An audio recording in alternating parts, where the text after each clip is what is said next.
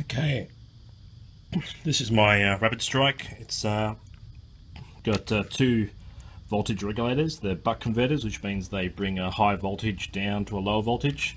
Um, the voltage is supplied via three IMRs uh, and a dummy battery here. Uh, the power goes through this kill switch, so you switch it on, and uh, the voltage here tells you the supply of volts going to the flywheels at the front and this rear one here tells you the voltage going to the pusher motor. And uh, you can adjust these voltages via these two pots. So you turn it down like that down to from 10 to uh, 4 and a bit.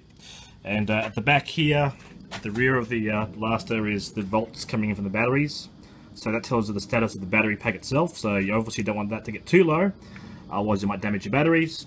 Um, but that at least tells you the status of the pack itself and uh, this will let you control how fast your flywheels go. So for example, if I hold down this motor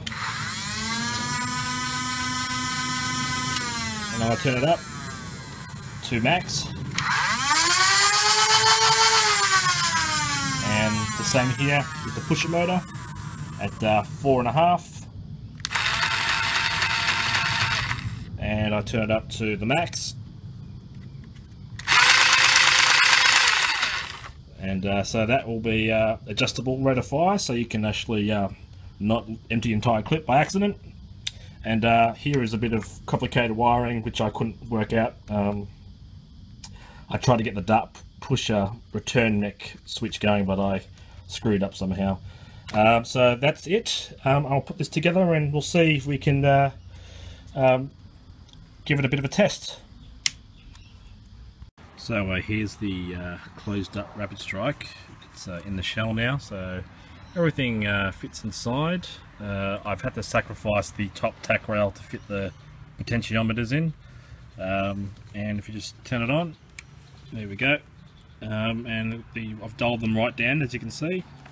And uh, there's the battery pack voltage at the back.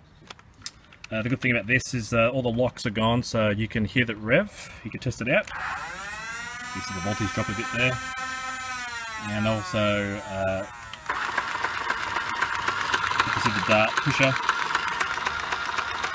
Um, one thing I might do is uh, crank up the voltage on the rev trigger while I'm uh, holding it.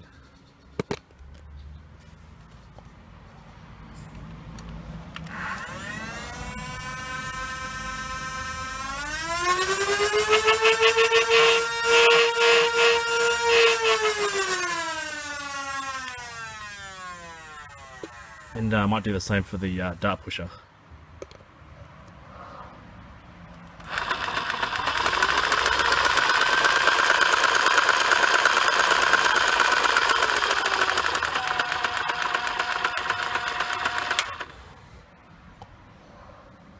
So this first test is everything dialed down with a 12 round clip. Well, I think it's 10 rounds actually. Jam.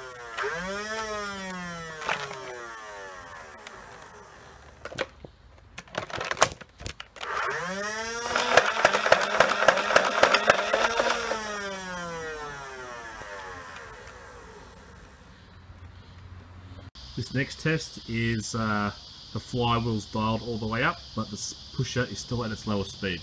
18 rounds.